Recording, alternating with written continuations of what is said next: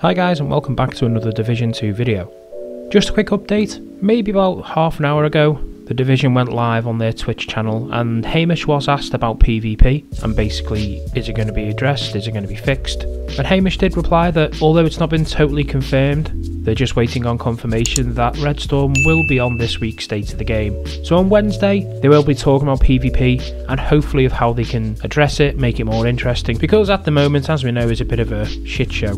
And I'll be honest, it's through this week's video out of the window because, the, well, this week's video for me was going to be called PvP is Dead, which it is. But I suppose I am kind of happy that it didn't want to bring such a negative video to the table, but in the same sense, it kind of does need addressing. So some of the things obviously that I was talking about within the PvP problems where obviously so the game's now tailored towards PvE. Not many people are bothering with the DZ because they just don't see the point of grinding. And one of my main concerns was that the fact there is three dark zones. It meant if you wanted a bit of PvP action and you killed somebody a few times, they'd simply just leave and go to another dark zone and to me that was pointless and it kind of took away the aspect of the dark zone altogether.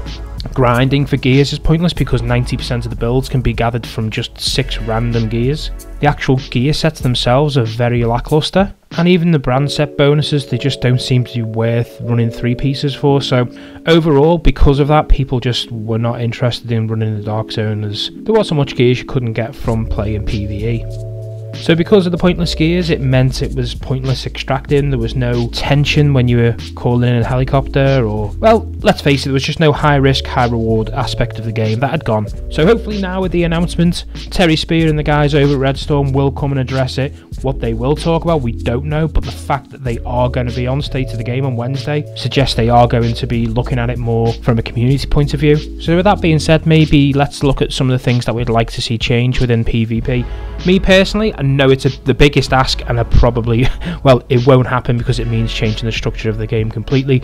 I think they should just do away with three dark zones, and if it makes it easier, make the three dark zones that are there now a light zone, so PvE, and make one big massive dark zone either north of the White House or on the east side of the map. It's not going to happen, I know. Don't start commenting down below saying, oh, that's unrealistic. I get that, but three dark zones just doesn't work with me. Another thing I think they should look at is the gear sets themselves and the brand sets. The brand set bonuses could be reworked a little bit better, which would then give people an incentive to run three piece. So, for instance, if you look at the Sokolov Concern, the way that the third set bonus is Seeker damage, that's a perfect gear for me. I think the third piece of any given brand set should be a really important part of the build even if it means maybe upping the percentage of the damage to say like 30 or 40% seeker damage. That could also help with the skill power and making actual skills important. I just think the values overall on brand sets should be a lot more lucrative to make people run them instead of just running random 6 gears.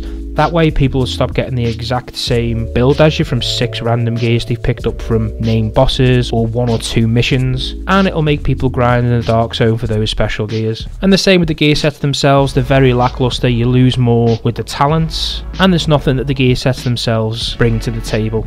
And let's face it, the actual three gear sets to me are more PvE based. And I don't know if they're just trying to keep us off PvP because they know it's such a flawed project at the moment, but watch this space, I suppose. Fingers crossed, the fact that they are addressing it this week, they know the community has a little bit of a problem with PvP. Well, when I say little, I mean a massive problem, so yeah, it's great to see that the devs and Red Storm are working hard to bring us some positive news. Well that's it for today guys, if you did enjoy today's Division 2 video don't forget to hit that like button to let me know you're enjoying the Division 2 series. Subscribe for more Division 2 content. I will be bringing out a video on Wednesday regarding the state of the game and what Red Storm talk about, look out for that. And until next time, Agents out.